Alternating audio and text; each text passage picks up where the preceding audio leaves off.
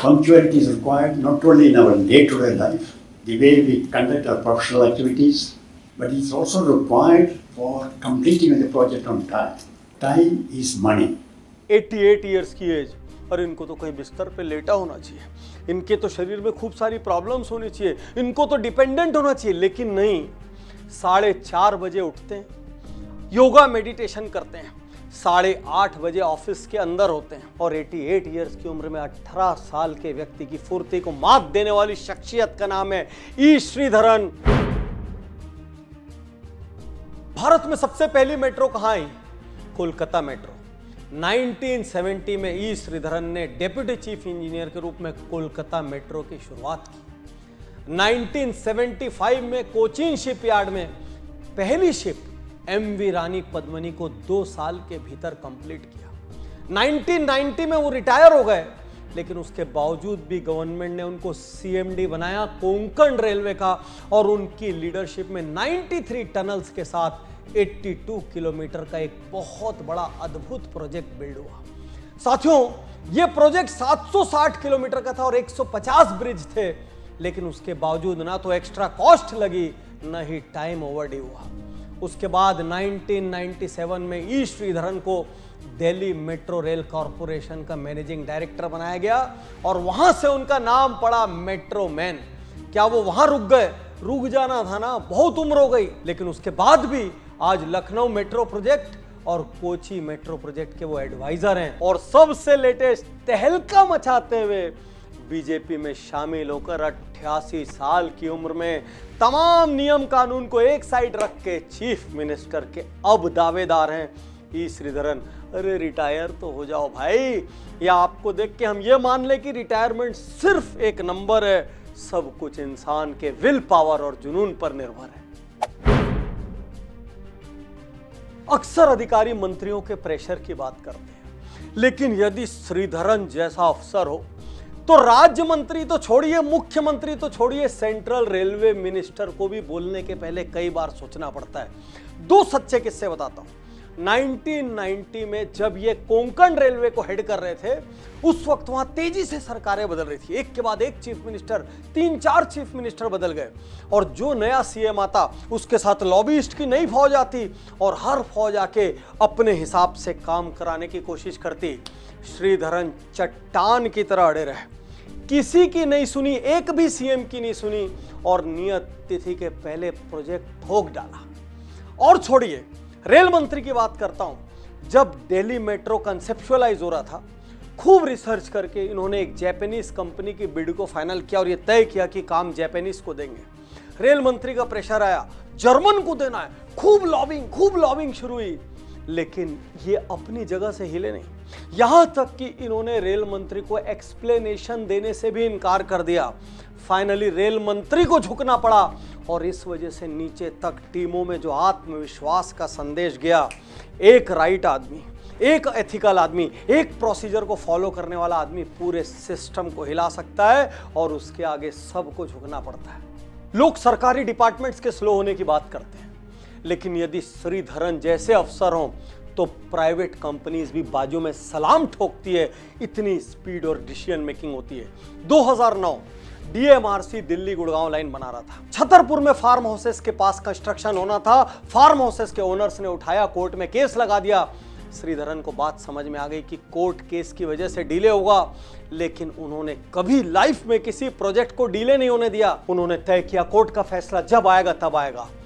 Date के छह महीने पहले प्री फैब्रिकेटेड स्टील से पूरा का पूरा स्टेशन बना के एक साइड खड़ा कर दिया और जिस दिन कोर्ट का फैसला डीएमआरसी के पक्ष में आया, उठाया, रेडीमेड स्टेशन लगाकर ले जाकर वहाँ पर टाइट कर दिया। इसको कहते हैं डिसीज़न मेकिंग इसको कहते हैं स्पीड और इसको कहते हैं गेटिंग थिंग्स डन यदि अंदर में करने का जुनून हो तो काम कैसे भी किया जा सकता है, बस आप में मादा होना चाहिए। नौ बजे दिल्ली मेट्रो के कर्मचारियों को ऑफ़िस पहुँचना कंपलसरी था। पाँच मिनट यदि लेट हो गए तो उसका मतलब हाफ़ डे की एबसेंट लगेगी। यदि किसी टेंडर को, किसी बिडिंग को, किसी फ़ाइल को क्लियर करने में एक महीने का पीरियड है तो वो पंद्रह दिन में क्लियर होना चाहिए। और सबसे पहले, सबसे आगे, सबसे टाइम पर पहुँचने वाले आदमी थे ई श्रीधरन। आज हम क्या देखते हैं? ऑफ़िस में बॉस लेट आ रहे हैं। कोई आने जाने का टाइम नहीं है। ऐसे में ई श्रीधरन जैसे लोग रोल मॉडल बन के जब टीम को इंस्पायर करते हैं, तब एक्चुअल डिसिप्लिन का कल्चर ऑर्गेनाइजेशंस में पैदा होता है। और जब टॉप डाउन कल्चर पैदा होता है, जब बॉस ऐसा करता है तो नीचे वाले को मानना ही पड़ता है, उसके पास कोई विकल्प नहीं जहाँ एक और सारे सरकारी प्रोजेक्ट लेट हो रहे हैं ओवर कॉस्ट हो रहे हैं, वैसे में श्रीधरन का फोकस क्या होता था? कैसे टाइमलाइंस को प्रीपोन किया जाए? 2005 फ़र्स्ट फ़ेज़ दिल्ली मेट्रो का पूरा होना था। उन्होंने अपनी टीम को टारगेट दिया। असंभव दिखने वाला टारगेट तीन साल पहले प्रोजेक्ट पूरा करना है। टीम भी अपने लीडर के आह्वान पे डट गई और तीन साल पहले इन्होंने प्रीपोन करके प्रोजेक्ट पूरा करके दिखा दिया। कितने किस्से सुनेंगे इस शख्सियत के? 1964 में एक तूफ़ान आया। पैम्बन ब्रिज पूरी तरीके से उड़ गया। रेलवे ने छह महीने की टाइमलाइन दी। ई श्रीधर ने टीम को बोला, नहीं, इसको कम समय में पूरा करना है। क्या पाँच महीने था? क्या चार महीने था? नहीं। 46 डेज़ के अंदर श्रीधरन की लीडरशिप में पैम्बन ब्रिज बनाकर खोल दिया गया। इसको कहते हैं प्री पोन द टाइम इसका अर्थ यह कि यदि लीडर टाइट हो तो टीमें इंस्पायर होती हैं। आप चाहे सरकारी हो या प्राइवेट सेक्टर में कहीं भी हो एक लीडर के रूप में अपना इवेल्युएशन कीजिए और सोचिए क्या आप अपनी टीम को इस तरीके से इंस्पायर कर सकते हैं कि टीमें लेट करना तो दूर गोल मीट करना तो दूर गोल्स को प्रीपोन कर दें। दिल्ली में रिंग रोड के पास कलकत्ता ब्रिज था। उस ब्रिज को चौड़ा करना था। जो कॉन्ट्रैक्टर था, चार साल लग गए, बेचारे के दस करोड़ लग गए। फाइनली उसने हाथ खड़ा कर दिया। उसने बोला, नीचे से एक ड्रेन पाइप जा रहा है। उसको डैमेज किए बिना मैं कुछ नहीं कर सकता। बिल्कुल हड़बड़ा के प्रोजेक्ट हेड मिस्टर मेहता ने तुरंत फ़ोन उठाया, ई श्रीधरन को खड़खड़ाया। 24 घंटे के अंदर ई श्रीधरन अपनी टीम लेकर वहाँ उतर गए और देखते ही देखते उन्होंने प्रॉब्लम को सॉल्व किया। बिना कुछ तोड़फोड़, बिना कुछ मेजर डैमेज किए उन्होंने ऑल्टरनेट दिया, क्योंकि वो कहते हैं अरे चैलेंज क्या होता है भाई? दुनिया में जहाँ प्रॉब्लम है, वहाँ सॉल्यूशन है। उनके कान नो नहीं सुनते। उनके कान चैलेंज नहीं सुनते। उनके कान सिर्फ़ एक चीज़ जानते थे सॉल्यूशन बताओ।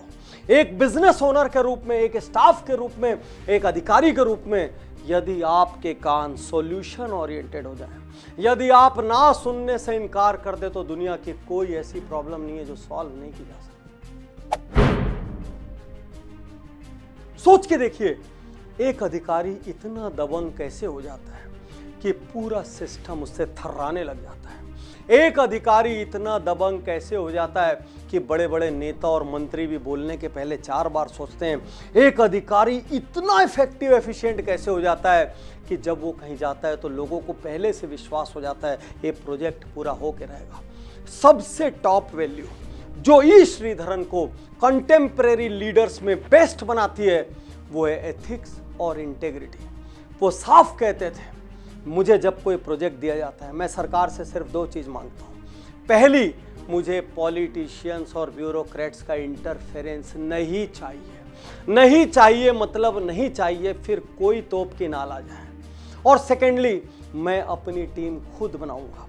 वो अपनी टीम में टॉप के एथिक्स वाले, टॉप के इंटेग्रिटी वाले, असली टैलेंटेड लोगों को लेकर आते थे और तभी तो हज़ारों करोड़ का होने के बावजूद दिल्ली मेट्रो को हिंदुस्तान के करप्शन फ्री प्रोजेक्ट के रूप में जाना जाता है। क्या हम कल्पना कर सकते हैं कि कोई प्रोजेक्ट करप्शन फ्री हो सकता है? एक छोटी सी सड़क रिपेयरिंग से लेके एक बड़े पुल निर्माण तक। हर जगह अनेक लेवल पर भ्रष्टाचार सुनाई देता है, दिखाई देता है, माने चाहे ना माने। ऐसे में यदि कोई व्यक्ति अपनी एथिक्स और इंटेग्रिटी से हज़ारों करोड़ के प्रोजेक्ट को प्रीपोन करके हाई क्वालिटी का बना के वर्ल्ड क्लास का बना के करप्शन फ्री भी रख पाता है तो वो एक स्कूल है और उस स्कूल से देश के हर अधिकारी को सीखना चाहिए। यहाँ तक कि प्राइवेट सेक्टर के सारे नीति निर्धारकों को भी सीखना चाहिए, आखिर लीड कैसे करते हैं? आप जानते हैं, वो अपनी टीम में वैल्यूज़ डालने संस्कार डालने के लिए, सिद्धांत डालने के लिए क्या करते थे? हर एम्प्लॉय को ज्वाइन करते हुए इंटेग्रिटी की शपथ लेनी पड़ती थी। सरकारी डिपार्टमेंट में इंटेग्रिटी की शपथ लेनी पड़ती सबको मकरंद भगवत गीता गिफ्ट दी जाती थी। कोई बोलेगा और ये तो रिलीजियस है। वो कहते थे, नहीं, ये रिलीजियस नहीं है।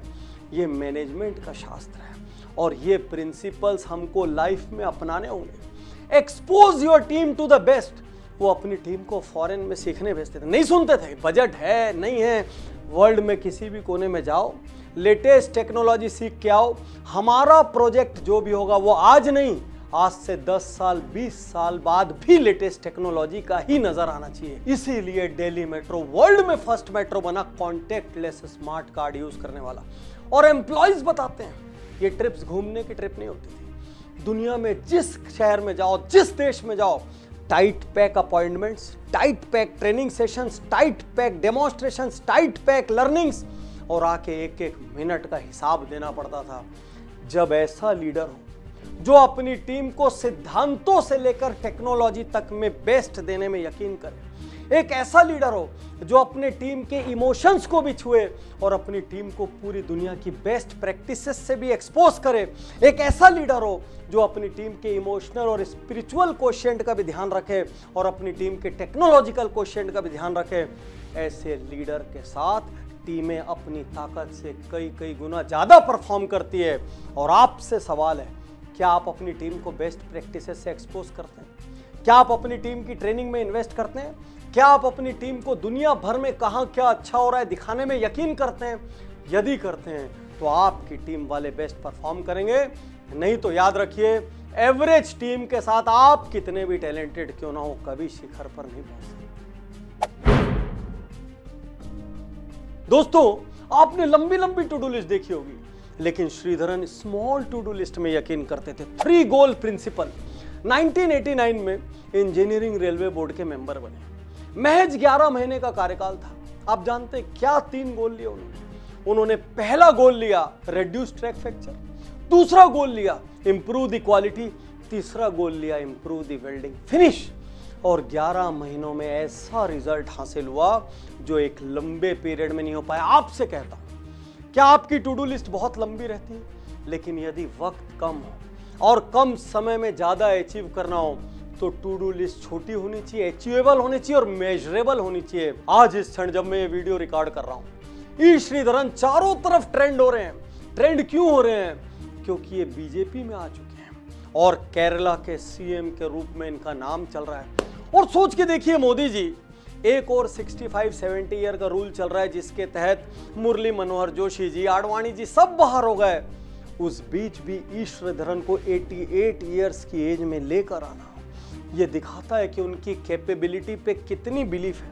वो ये दिखाता है कि एक 88 इयर्स के व्यक्ति पर, उसकी एडमिनिस्ट्रेटिव क्षमताओं पर, वहाँ की जनता का कितना यकीन है कि बीजेपी जैसी बड़ी पार्टी को सारे नियम कानून तोड़कर उनको लाना पड़ रहा है। दोस्तों, ये बात कहते हुए मेरे पेट में गुदगुदी हो रही लेकिन मैं एक ऐसे इंडिया की कल्पना करता हूँ, भले वो इंडिया दो साल के लिए आए, तीन साल के लिए, पाँच साल के लिए आए, जहाँ पर ई श्रीधरन जैसे लोग राज्यों के मुख्यमंत्री बने। जहाँ पे रतन टाटा जी, अजीम प्रेम जी, नारायण मूर्ति जैसे लोग देश के बड़े बड़े विभागों के मंत्री बने।